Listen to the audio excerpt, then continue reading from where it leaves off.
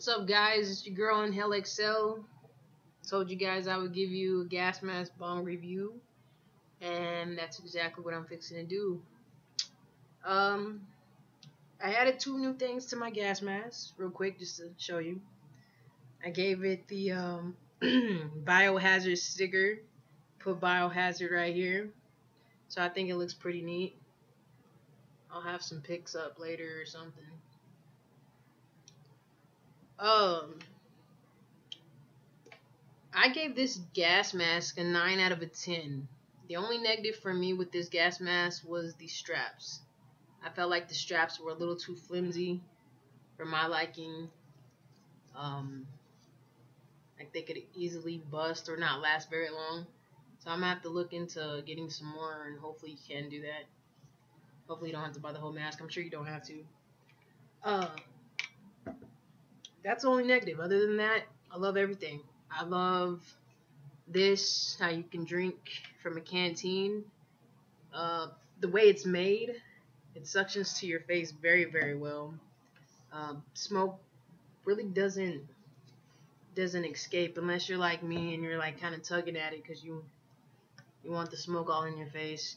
Because it does have this piece right here, which might be a little hard to tell and this like covers this part so the smoke's not getting in your eyes. But I love that rush, so it doesn't bug me. One of my favorite parts of this bong would be the neck strap. I love it. You put it on, kind of carry it around like a necklace. If you're not really using it, you're not having to set it down, pick it up, set it down, pick it up. It's just on your neck. So that's a big bonus. Um, I got mine for forty dollars at my local smoke shop, and um, I'm pretty sure wherever you live, probably gonna range from what thirty to forty, maybe even fifty. One I was actually looking into was fifty bucks online, and I'm so glad I didn't get it. I was very close to getting it. That mask looked exactly like this one, except it stopped right here. Very small bong for me. And so I was really glad to see that this had an extra little bubble. Uh, like my rip's very, very big. And so I noticed that all the masks pretty much, the gas masks uh, that they're they're selling these days, they're all pretty much the same mask, just different bongs. So if you're lucky, man, maybe you'll get a, a bong like me. But a lot of the masks are a lot excuse me, a lot of the bongs I'm seeing um, all look the same pretty much, and they're small. Not my cup of tea. Nothing against small bongs, because I have I have a mini bong.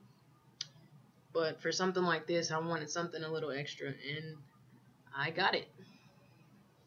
And I did decide to go with Dank Vader, so that is this piece's name is Dank Vader. Um, I, don't I don't know what else to say other than uh, this bong's awesome. Uh, gonna continue to upload more videos of me enjoying my time when I am using it. Um, that's it, guys.